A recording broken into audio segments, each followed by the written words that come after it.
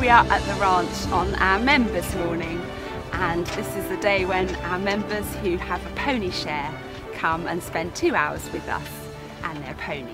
When our members arrive they get a brush and they brush their ponies and, and make friends with them and just make sure they're nice and calm before they actually go riding.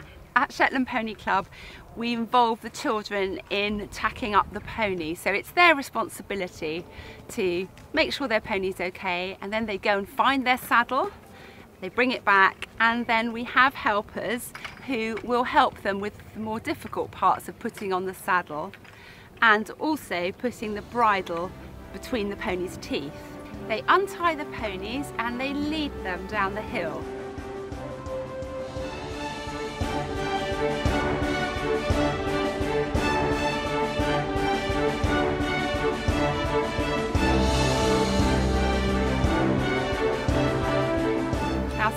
Our children, it's their very early stages of riding and so our handlers will lead them and that's called being on the lead rein. Some of our riders are quite good and they've been here for several years and they can ride the horses independently and that's called riding off the lead rein. If they want to have a formal lesson, we do have an instructor, Julie, who will teach them. But if they just want to play with their pony and enjoy riding outside on our beautiful farm, that's fine too. I'm Julie and I'm a BHS qualified instructor and I come along every weekend to help some of the children in their group lessons just to establish the basics of riding. We sometimes finish our lessons off with fun games and we try to include things that the children have learnt during their lessons as well. So they're all going to now think of a game to play and then we're going to finish off with that.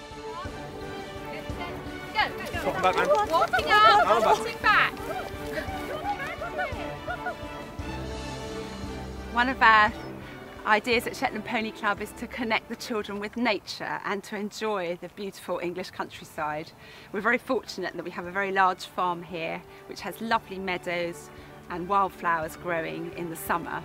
We also go and ride through the woods and if we get a very hot summer's day we take the ponies swimming in the river. We're at the end of our members morning and when the children come back it's really important that they take care of their pony. So they don't just leave him after riding, they take off the saddle, take off the bridle, get him a bucket of water and then they clean their bridles. So Imogen, have you cleaned your bridle? Can I have a look? Let's have a look. So it's important that it's clean for Muffin, isn't it? Yeah. Beautiful, okay? But it's still clean. It's very clean. Muffin will like it, won't he? Okay, and you've got all the grass off of here. Good girl. Okay, that's perfect. So you can go and put that back on Muffin's peg now. Can you take it back to his peg? Very good. I think we started coming to the Pony Club because we like the idea of Rose being with animals. Rose loves animals and we like the outside element. Uh, we like the atmosphere here. It's very gentle, it's very nurturing, um, it's very supportive. I'd like her to do something outdoors, something with animals, to get used to nature a little bit. She's doing it with a friend, she's sharing a pony with a friend, friend so that means they don't go to school together, so they see each other once a week. And really, that's the reason why we're doing it. It was lovely. So out here. now we're going to go poo picking with the children, and it's one of their favourite activities to do of the day. Um, so we like poo picking, don't we, guys? Yeah. Yeah. So we're going to go out in the field. Who's going to race down first? On your marks, get set, go! I like Sabine coming here because she's always outside, doesn't matter which, if it's raining, if it's snowing, whatever, they're out here.